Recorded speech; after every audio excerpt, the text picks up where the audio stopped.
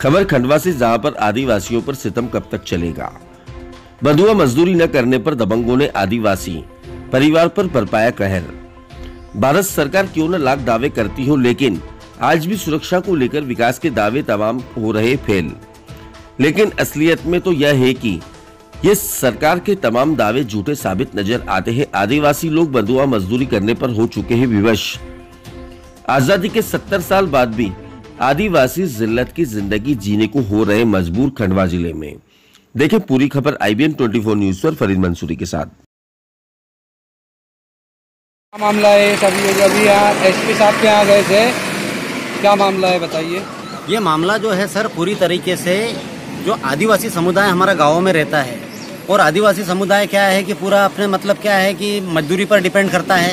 तो मजदूरी पर डिपेंड करता है तो ये जो लक्की पिता ये लक्की दरबार जो है इनके यहाँ पर मतलब ये परेठा गाँव के जो लोग हैं, वो इनके खेत में काम करते थे। और त्यौहार होने की वजह से ये लोग मतलब तीन चार दिनों से लगातार अपनी मजदूरी की मांग कर रहे थे, लेकिन इन लोगों ने मजदूरी न देते हुए और उनके घर पर जाकर उनको मारा पीटा धमकाया। जब उन लोगों ने कहा कि तुम हमारी पहले मजदूरी नहीं देते हो तो हम काम नहीं करेंगे। मारा पीटा धमकाया, यहाँ तक कि घर में घुसकर भी मारा गया है। लेकिन धनगांव थाने में क्या हुआ, उसके विपरीत जो हंड्रेड डायल उन लोगों ने बुलाई थी तो हंड्रेड डायल पीड़ित को ही उठाकर ले गई। और पीड़ित के ऊपर मुकदमा ठोकने का काम और पीड़ित को अभी भी मतलब क्या है सलाखों के पीछे धनगांव थाने में बंद करके रखा हुआ है।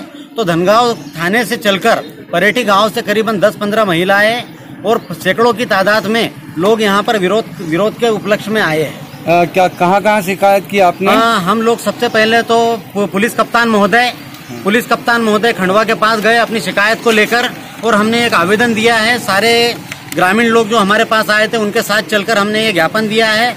और उसके बाद हम अजाक थाना पर आए तो अजाक थाना पर भी हमने एक आवेदन दिया है। अजाक थाना से भी हम लोगों को ये आश्वासन मिला है कि जैसे ही ये सारी ड्यूटियाँ वगैरह खत्म हो जाएगी तो सबसे पहले 10 तारीख से 10 तारीख के बाद इस मामले पर जाँच कर कर हम उचित कदम उठाएँगे। आपका आपका पता मेरा नाम राहुल वाघ बहुजन समाज पार्टी प्रदेश महासचिव।